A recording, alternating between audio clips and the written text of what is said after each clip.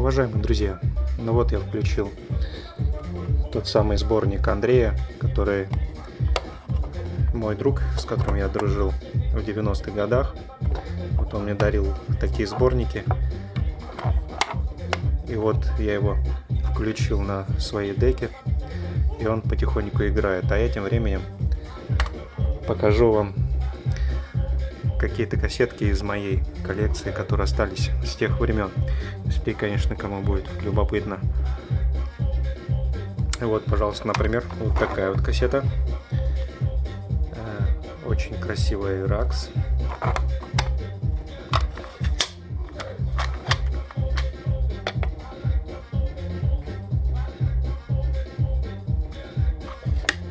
девяносто шестого года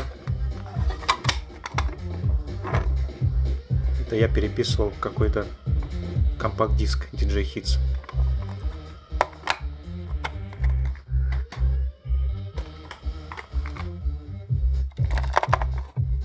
С KCGX бедная коробочка вся затертая.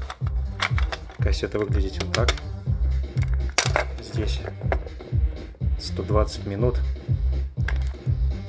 На 120 минутки я СКЦшки GX я записывал с радио а потом слушал в машине. Радио записывалось на них очень хорошо. Это вот 95 год.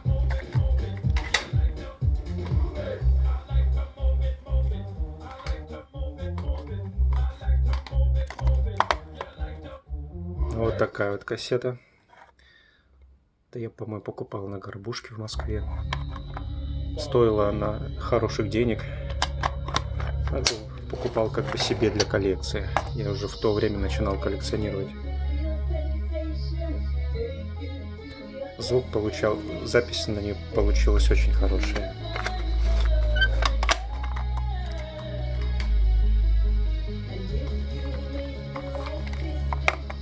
Вот такая вот кассета Fuji второго типа.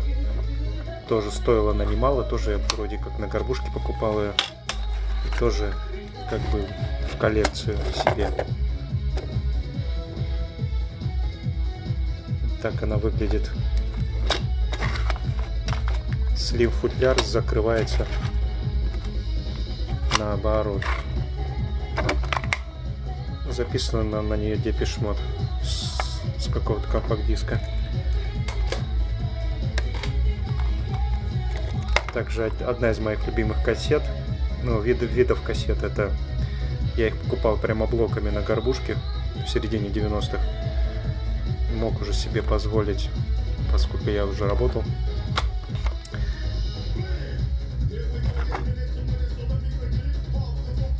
SKC. Хорошая очень фирма. И с кассетки хорошие. Это второго типа хром.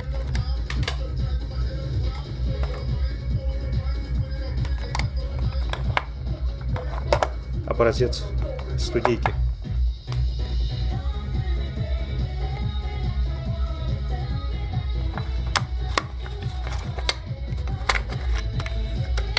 Похоже, эти студийки записывались на кассеты Славич. Ну и ничего, нормально сохранилось. Правда, Европу я эту студийку брал не в 80-е годы, а уже в 90-е. Ну, вот такая, такая вот кассета.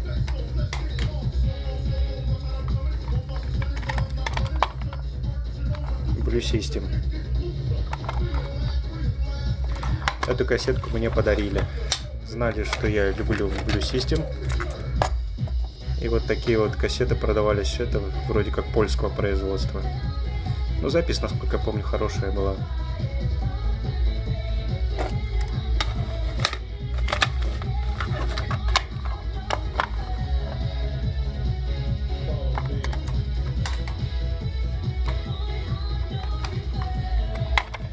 Интересная история этой кассеты. Это такой сборник Bolero Mix. А в то время я искал э, музыку под названием Болеро. Болеро это э, как, когда-то у меня была такая вот кассета а, у отца, и там была эта группа Болеро, но я смог ее найти только тогда, когда появился интернет. А до этого вот я, например, купил э, в каком-то ларьке тоже с, с надписью Болеро, но это оказался просто микс, ну тоже вроде как неплохая музыка, можно было ее послушать. Очень качественная студийка, сделана на Раксе.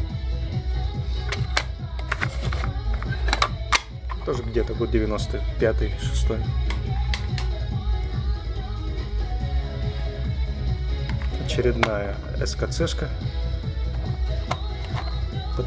Потому что я их много брал. Здесь Дюран Дюран записан.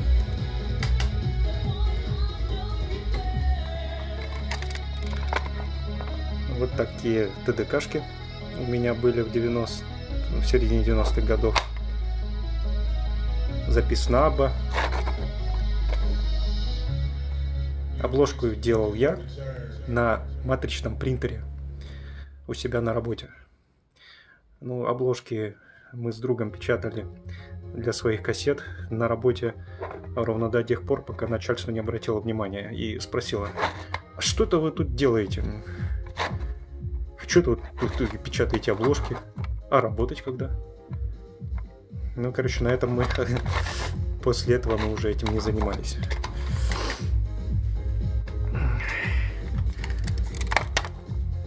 В 90-е годы купил себе очиститель головок, тоже фирмы СКЦ. Обложка была очень красивая, поэтому я ее сохранил.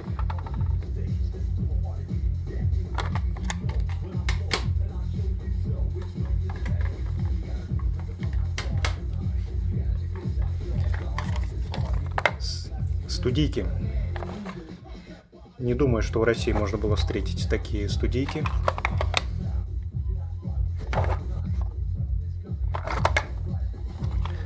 Такие студийки продавались в Кишиневе, в Молдавии. Я там бывал иногда. И вот в городе я покупал такие студийки, которые мне понравятся до сих пор слушаю. Brothers, Two Brothers Run with Flow. Джеймс. Очень, очень, очень классный альбом. И звучит он на этой кассете очень хорошо записан. Иногда слушаю.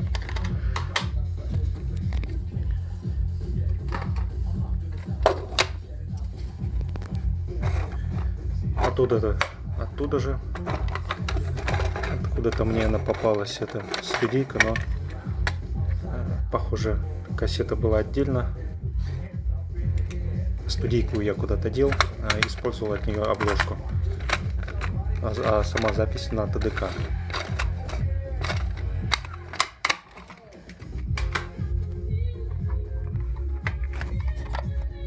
В те года, в конце 90-х, по-моему, начала быть модная Земфира.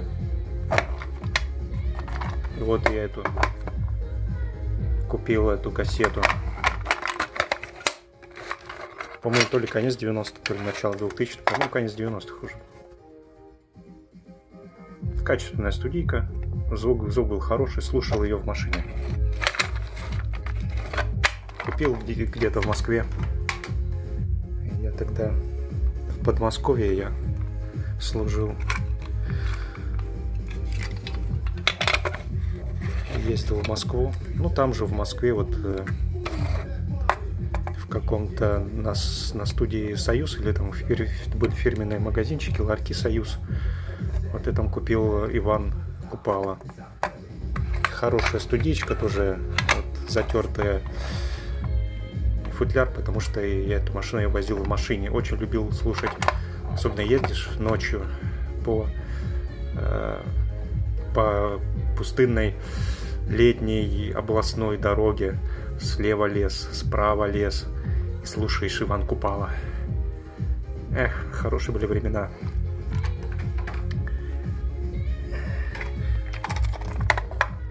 Также я любил високосный год. Тоже слушал с удовольствием. Тоже эту студийку я покупал в Москве. Хорошая фирменная студийка, явно на басовской пленке. бас, басовские катки, ну явно выпущенные ECP, характерные с точечками басовские и красные каточки. Это явно ECP болванка. Ну и запись хорошая.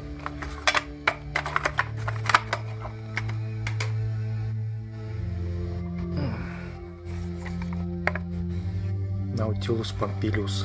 Это я покупал уже в Питере, эту, эту кассетку.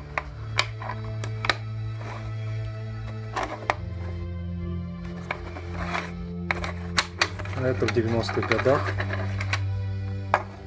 Непонятно, чье производство. Болванки, но э, запись была хорошая. До сих пор можно слушать, качество хорошее. Даже осталось печать от какого-то ларь... Э, этого ларька, который продавал.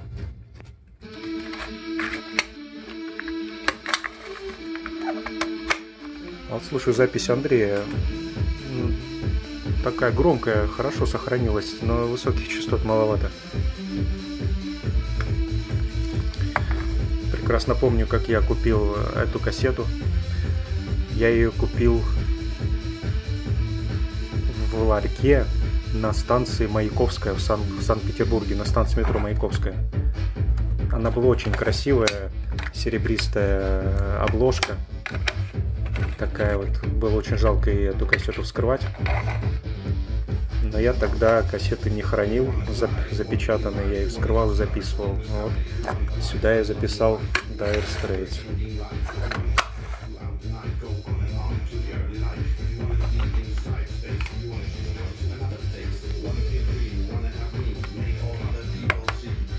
Очень качественная кассета Rax. Служит до сих пор прекрасно, можно слушать. Запись чистая, а записано здесь крематорий. А покупал я эту кассету на вокзале в Москве, на Ленинградском вокзале, в одном из ларьков. Был уже конец 90-х годов купил, чтобы слушать в машине. И слушал. В машине, в плеере.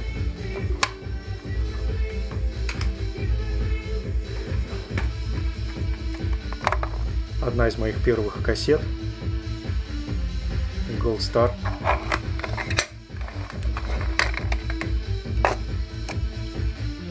Записал я на нее Beatles. А почему Beatles? Потому что Beatles это, в общем-то, первая, первая музыка, которую я услышал в наушнике на, на плеере. Мне какой-то парень одолжил плееры послушать, да, дал послушать. Там был записан Битлз. Я первый раз послушал Битлз в наушниках с плеера. И мне тогда очень понравилось. Такой классный звук был, стерео. И после этого я уже начал копить деньги на свой плеер. И так я его купил. А когда у меня появилась первая кассета, я на нее записал Beatles. Это уже конец 90-х годов, вторая половина. Я уже начал покупать различные кассеты, в частности. Вот такую нашел AD90. Да, действительно хорошая пленка. Обложка напечатана на работе бумага уже пожелтела.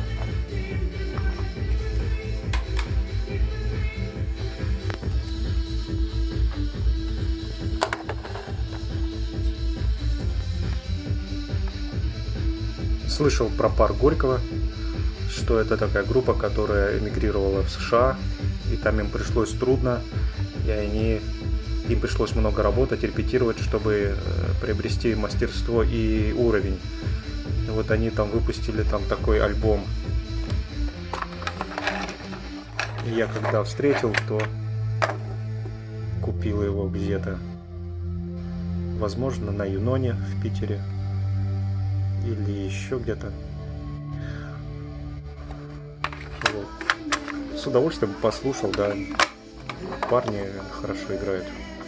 Хорошая группа. Пар Горького.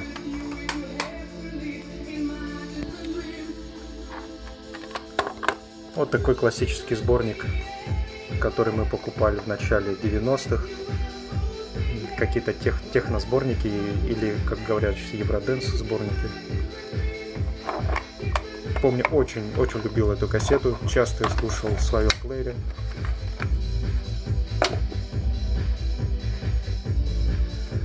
Записано, записано на Раксе. А, такая была очень известная песня. Катюшка. А, как не так. Таурин. Катюшка. Интересная была песня. Так, давай, слушай это быстро. Это песня из СССР. Зажигали под эту песню, и на дискотеках она была.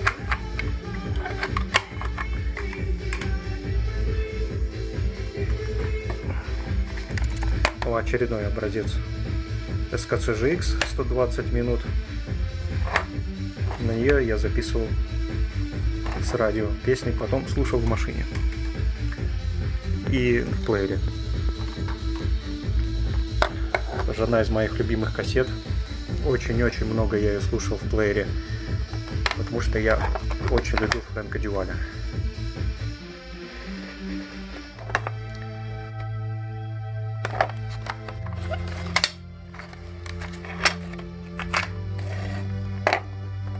Типичная кассета Range которые в то время были распространены.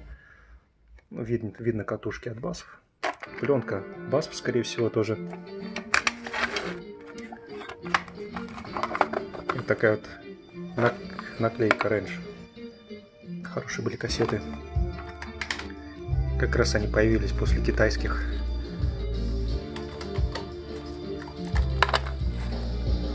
Вот очень интересная группа. Специально ее купил после того, как по радио ус услышал их тему. Прикольная группа MIDI Maxi and Efti. Какие-то девки там без, бестолковые совершенно. И такая песня. У, ага, у, ага. Big bad bad boys, come on me, come on me, ага. Совершенно бредовая песня, но ее почему-то очень любили. Даже я.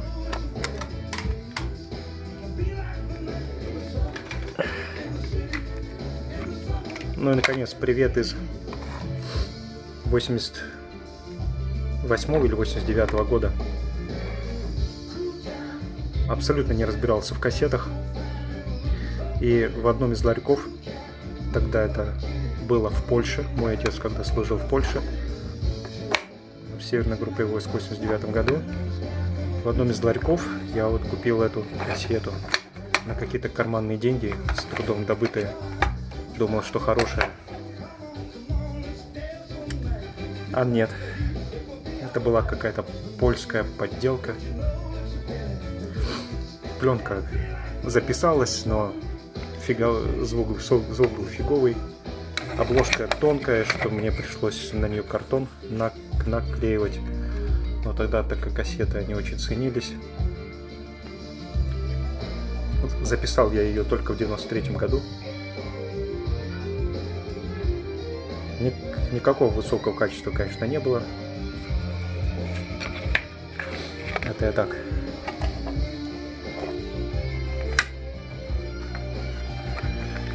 В общем-то вот.